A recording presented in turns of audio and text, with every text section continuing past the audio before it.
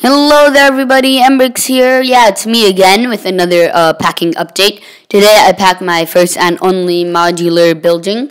This is the Parisian restaurant and uh, it didn't take all that long.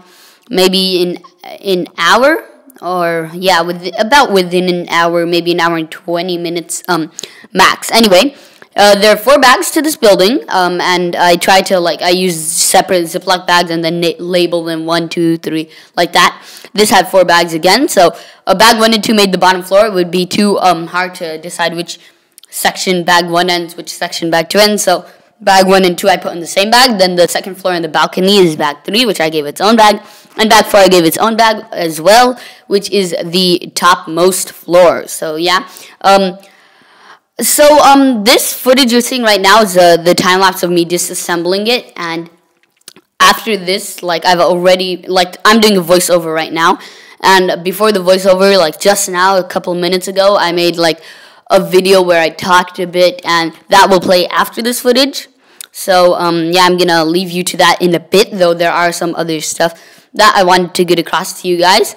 Um, I um, have not seen the Lego Movie 2 yet, though it is in theaters. Um, it's been in theaters for a while. Uh, I really hope to see it though, because um, then I can like uh, do a spoiler review and then a spoiler-free review. And I want to see it with um, lots in theaters. I just haven't um, gotten to it yet. And in uh, other Lego Movie 2 news, you know, I just like to talk a bit while you guys have something to watch uh, while I pack, because it's boring of me just talking about, hey, I packed this building. But anyway, um, so the Lego 2 Happy Meal toys, right. I didn't go out of my way to get the Happy Meal toys just because I knew they were Lego Movie 2. Like, obviously, no Lego. McDonald's is cheap, and because of that, I've, and my sisters as well, have definitely outgrown McDonald's way, uh, like, far ago. But, um, anyway, we were in the area, so I just decided to get it, and so did my sisters. Um, we've all outgrown it again, but because, you know, it's Lego Movie 2, I still wanted it, so my sisters gave me theirs. They didn't care for it, and they didn't have the Lego Movie 2 ones. They just had, I don't even know, buildable turtles. I don't know. but I'm gonna go back probably this week or next week to return it. But anyway, this footage is coming to an end, so I'm gonna have to stop the voiceover.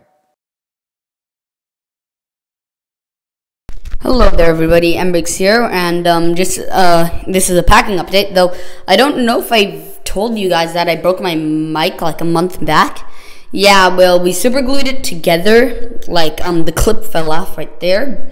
But super glue doesn't hold forever, so uh, it came off again. Though I am trying to get a new one, probably within the month. But anyway, as you saw in the sped up footage, I did pack uh, the Creator Modular Expert Parisian restaurant.